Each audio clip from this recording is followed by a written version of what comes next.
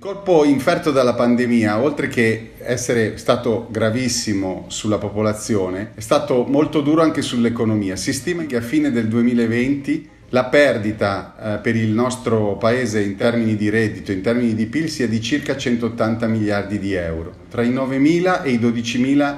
euro in meno per nucleo familiare. I timori per la tenuta del sistema produttivo conseguente a questa crisi sono molti e questo ha reso evidente una volta di più che il nostro sistema produttivo non può più basarsi su un vecchio modello.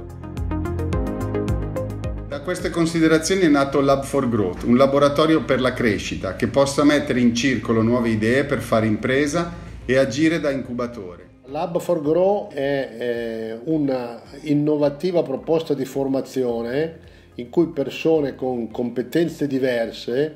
si mettono insieme per eh, giudicare e per trovare delle soluzioni rispetto ai problemi più urgenti che sono emersi dopo il coronavirus e nel, nel cosiddetto new normal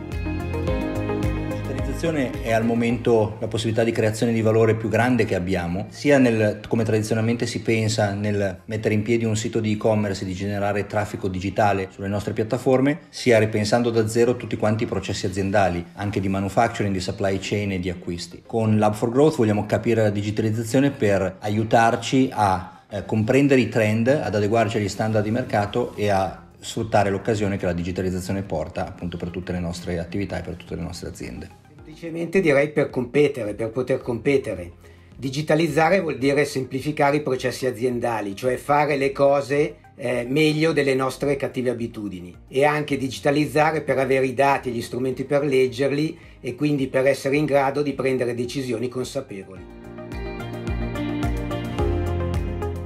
Smart working che si è diffuso in modo incredibile durante la pandemia eh, ha la possibilità di diventare un nuovo modo di lavorare, ma perché questo sia efficace, perché questo sia profittevole, è necessario che cambi anche l'organizzazione del lavoro. Quindi in questo modulo verranno affrontate sia il tema della nuova organizzazione del lavoro che come lo smart working può diventare il nuovo normale nell'ambito del mondo del lavoro.